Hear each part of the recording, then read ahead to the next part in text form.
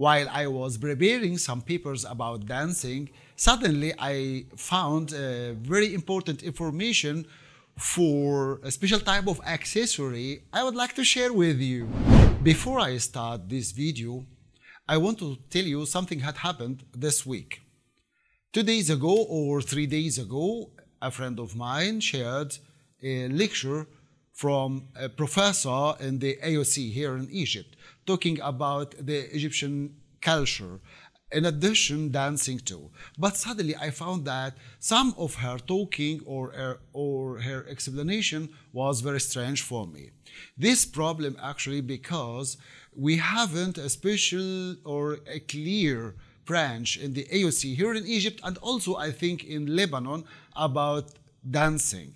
So for this reason, the professors, when they're going to talk or to explain dancing, they explain from their windows so they don't know exactly the meaning behind the dance steps or the meaning behind the dance in general this is exactly uh, the most important problem which sometimes can lead us to the weak point or to the wrong point uh, which i feel it became now everywhere all over the world. So please try all the time to give the branch to its place or to its people because if i'm talking about something i don't know exactly i will lose my way and i will give you wrong information.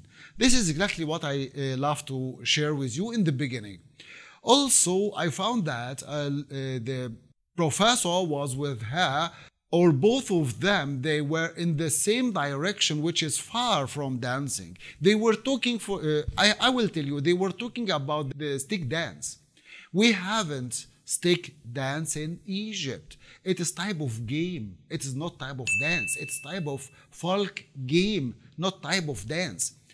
The dancers who allowed to dance with the stick in upper egypt were only the Gawazi. And you can say sometimes also gypsy, but men dancing with a stick in Upper Egypt, it's completely wrong. We haven't any type of stick dance in Upper Egypt. Belongs to men, but belongs to women especially, especially Gawazi.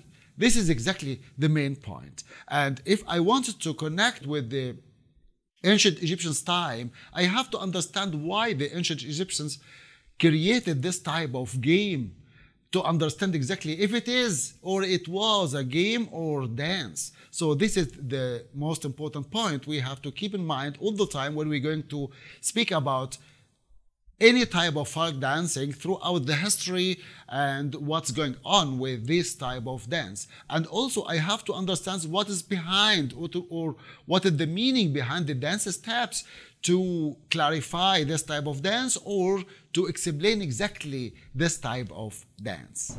Since long time I'm thinking seriously to create a video talking about uh, ancient Egyptians dance because I found that sometimes some points cannot be clear enough to let us understand exactly the meaning behind these types of dances if it is type of dances or type of uh, uh, religion. Motion or performance belongs to religion because there is a big difference between the religion movements or religion performance and dance performance. This is exactly uh, the main point which sometimes lead people also don't understand or confuse between all of these types of uh, performance. When I'm saying motion performance, exactly this term, it is Egyptian term, created uh, here in Egypt by um, the physical education college, especially uh, girls physical or, or ladies physical education college, not uh, men.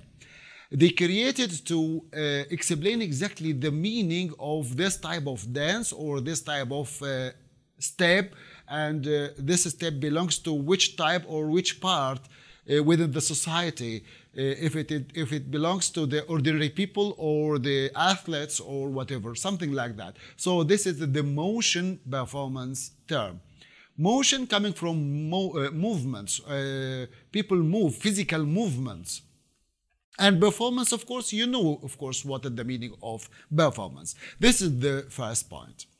Uh, what we uh, found is, or before what we found, uh, as I told you, it was in my mind to explain or to create a video talking about uh, ancient Egyptians and uh, their type of motion performance, which it belongs to them or uh, uh belongs to whom exactly and how they created like this way.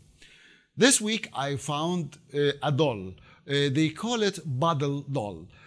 I found it in some sources, and this Paddle doll belongs to ancient Egyptian time. Uh, we found it or we discovered it inside uh, tombs here in Egypt, of course. But was very strange because we found it exactly in the uh, dancers' tombs, uh, which is very important to know something like this.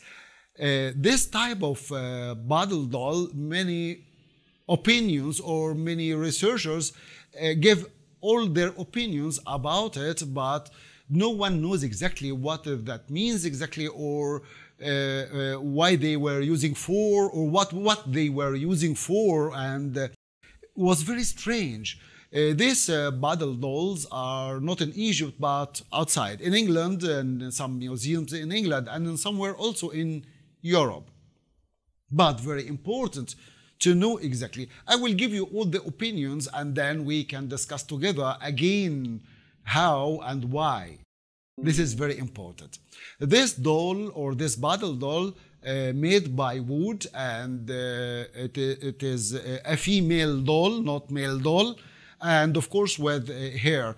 Her hair is very strange actually. It is a strength with uh, clay of beads, which is very strange, yes, also.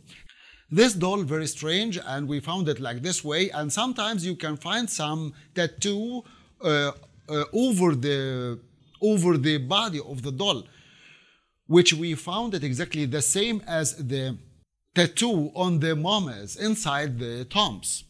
Uh, these tombs actually. So this is uh, uh, let many researchers think that it is type of uh, instruments or it is type of accessory the dancers use it or use using them during this time long ago. The tombs which we found it or we found them inside because we found many, not only one piece or something like that, but a lot of pieces, uh, different types of pieces as you uh, see them now with me. We found it inside, or we found them inside these uh, tombs, which belongs to a type of uh, religion bands which they were calling them Khebrie bands, something like that. Uh, these bands uh, were belongs to Hathor. And by the way, Hathor, as you can find her name in many sources, belongs to or she was a goddess of uh, dance and music also in this time long ago. So these Khebrie dancers or bands belongs to her. And they were dancing inside temples and sometimes uh, in some uh, death ceremonies, something like that.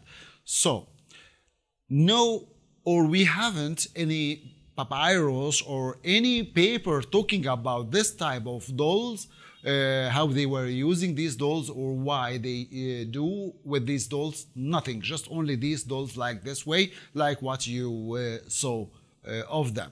One of the opinions said that this Paddle doll uh, where belongs to the dancers when they were uh, taking these dolls and play with it, something like that. Others said that it looks like the cymbals because this time long ago there were a special type of cymbals, uh, hand cymbals, as they said. People in this time they were uh, taking these cymbals and made or making some type of rhythms as a percussions. Uh, others said that uh, it belongs to a type of uh, music. They were used it inside cymbals to change the vibration with the with the air. Others said that it uh, was um, replacing the negative energy to the positively uh, uh, with the air or in the air by uh, the vibration, something like this. So uh, a lot of opinions about it like this way, and no one knows exactly uh, what was using for. if we look at it clearly, we will find immediately that uh, this uh, paddle doll looks like the voodoo doll also, which it is a strange little bit when I say something like this point. So for this reason, some of the researchers said the same. It is type of magic doll. They use it for something special for them, something like that too. I a little bit uh, be more going to this point because until now we have this doll or something like this doll. We use it in our culture here in egypt. We created by the way this is my uh, tom. He asking for something. I don't know exactly. I am here. When i start to speak about magic suddenly tom start to talk. So be careful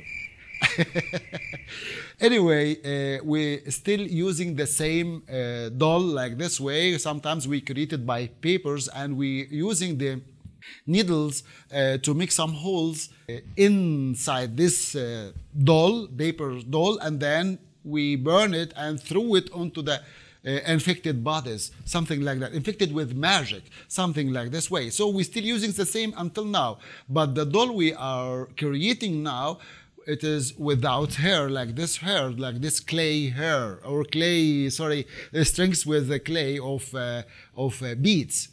So this is also a strange little bit to uh, know something like this exactly, uh, or to find something like this exactly from this time long ago, and no one knows exactly what is the meaning of it until now. But I think yes, also the same as some of the researchers that they were using for some magic what belongs to the dancers or maybe they infected they, they, scared if the dancers infected with some uh, magic. So for this reason they created this doll for something like that. This is exactly what i love to share with you today and of course, I love very much if you have any opinion or uh, any comment or also any question, please write me down. And don't forget, please, to share this video with your friends. And don't forget also to click on the like button below if you like it. And wait for me for the next video. Thank you very much and see you in the next video.